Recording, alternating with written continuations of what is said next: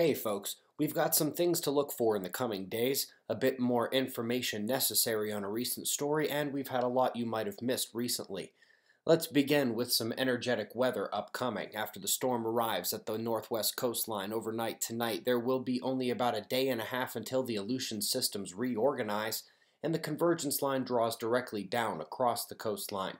Could be some strong winds and storm activity.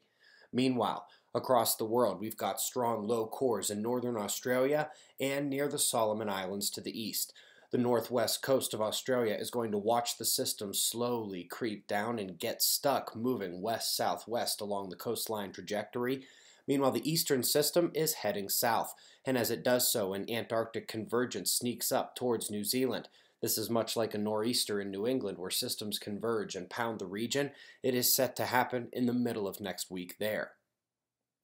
Let's take a little deeper look at this morning's article about cosmic ray anomalies that seem to spike in a way that may be related to Jupiter's magnetic field.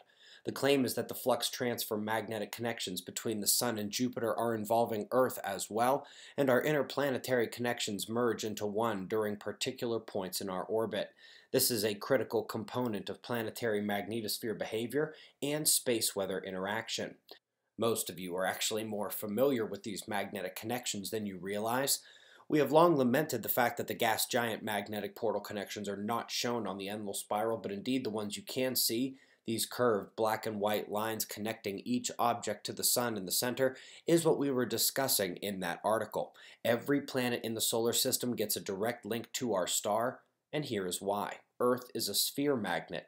Its macro-scale electromagnetic presentation to the solar system has a dipole field and wraps around the entire planet. This is very similar to Jupiter's and Saturn's, and the rest of the inner planets have feebly tiny magnetospheres compared to Earth.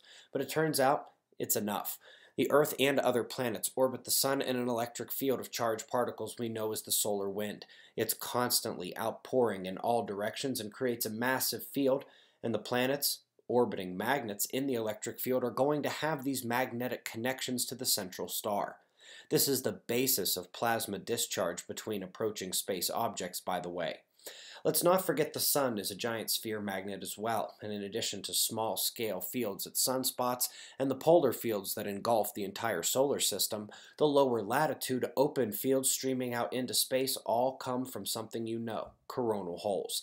That's why they are black here. The detector has less to see with the plasma forced out more along those fields, directly affecting the planets. That is indeed the makeup of the connections we've been discussing. Every planet connects to the Sun at those coronal holes. That's why they can be so effective on the planets, especially with the flux transfer events. On Earth, they happen every eight minutes, a major plasma exchange between the Earth and Sun.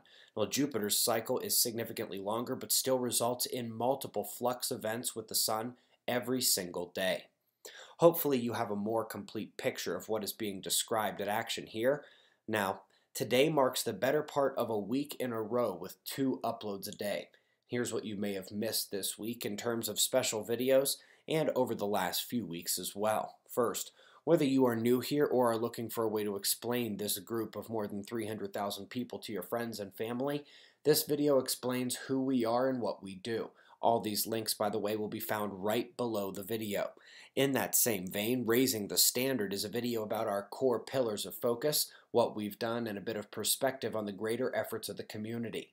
For more on some of those efforts, the resources video details all of the websites and website material and shows you where to find all of the tools available to you.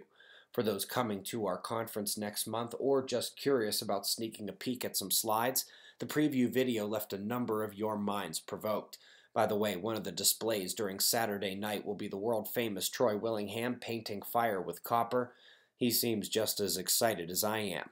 As spring gets closer by the day, checking out our forecast for the U.S. becomes more relevant if you have not seen it yet. The recent look at the magnetic infrared dark cloud G34 was eye opening for many of you about magnetism at the subgalactic scale, especially when it comes to star formation. The Alaskan 7.9 earthquake this week triggered a number of questions, especially about a mysterious connection in distance and time. The next day, our mysterious friend at the USGS came with the double edged sword of mistakes I've made over the last year, but which actually helped validate something we published back in 2016. Don't miss that one, and remember, all these videos are linked right below this one. Same goes for some key playlists. The Where Are We playlist has two of our more popular series on it and other videos. Where Are We Going is worth the time for sure, along with the one you can see cut off at the bottom, the For Your Consideration series. We also have our dedicated space weather, earthquakes, and our weather playlist linked below, as well as being accessible via our channel page. Things really aren't slowing down, even as the sun takes a breather for the cycle minimum. Let's all get on the same page and remember that someday soon all of these things will seem to be clearly connected, as connected as we all think they are, as connected as the planets and the sun. Be safe, everyone.